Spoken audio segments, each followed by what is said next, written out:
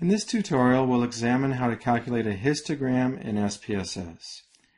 And notice in this example, I have the variable exam score, where I have the exam scores for 15 different people in my data set.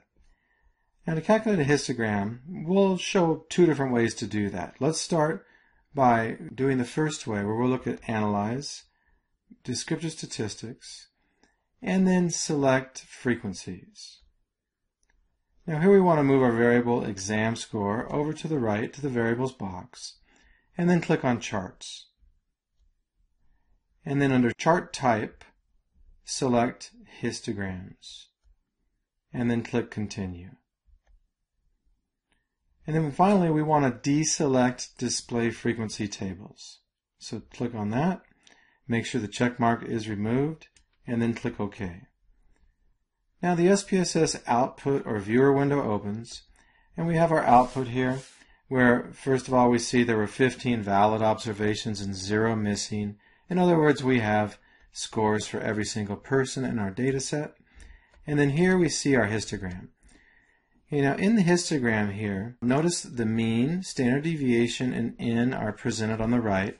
So we have a mean of 81.8, standard deviation of 13.51, and there were 15 people once again on which the histogram was calculated on. For our x-axis, SPSS shows our variable name exam score, and then it has values ranging from 50 to 100. On the y-axis, we have our frequency. And the way we read this here is the height of the bar indicates or tells us how many values there were at that location.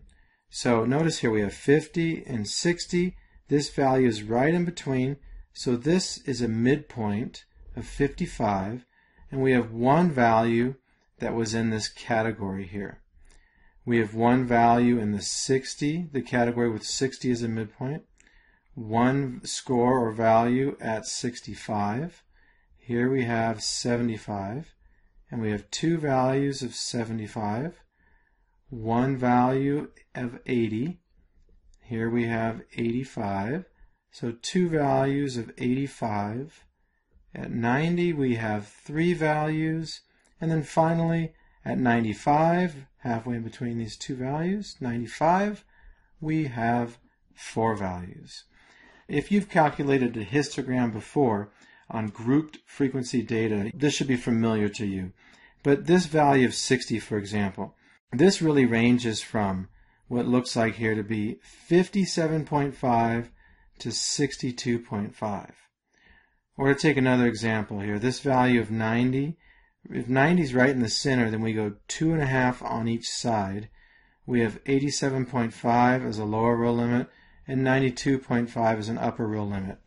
So while we saw that there were three values with a midpoint of 90, if our limits are 87.5 and 92.5, these three values could be 88 as a whole number, 89, 90, 91, or 92.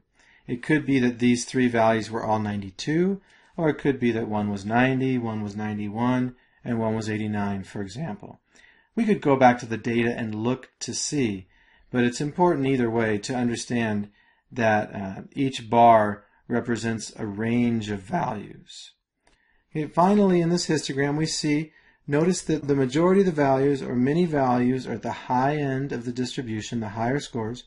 Notice how it's peaked here, in other words, and it tapers off as we go.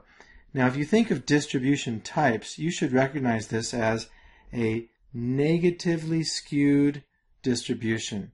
Recall that the skew, it's a negative skew if the tail end goes to the negative end of the number line. It's positively skewed if the tail points towards the positive end of the number line.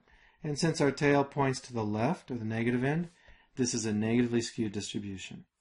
Okay, one last quick note. I did say that I was going to show you how to calculate a histogram using another approach as well. So let's go ahead and take a look at that. If you go to Graphs on the menu bar and select Legacy Dialogs, and then go down and select Histogram, and then we're going to move exam score over to our variable box and then just click OK. And then you'll notice here we get the exact same um, histogram produced using this approach.